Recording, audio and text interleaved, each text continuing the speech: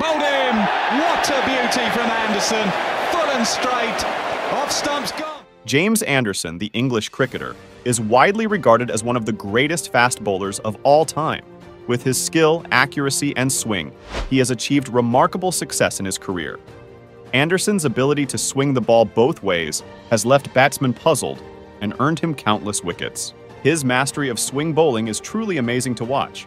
With 695 Test wickets, Anderson holds the record for third most wicket taker in Test cricket after Muralitharan and Shane Warne. His consistency and longevity in the sport are truly remarkable. Not only is Anderson a prolific wicket taker, but he also possesses an impressive bowling average. His average of around 26 in Test cricket is a testament to his skill and effectiveness as a bowler. Anderson's success is not limited to Test cricket.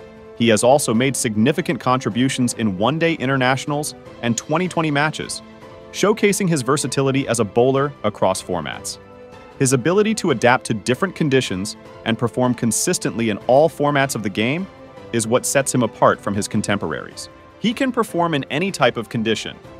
Whether it's India, England, or any other playing condition, he adapt his bowling according to the environment and condition.